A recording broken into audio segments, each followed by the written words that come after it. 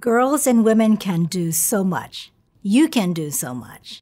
Uh, in order to believe in yourself, you have to be confident. Do not be boxed in by others. Don't let others define who you are.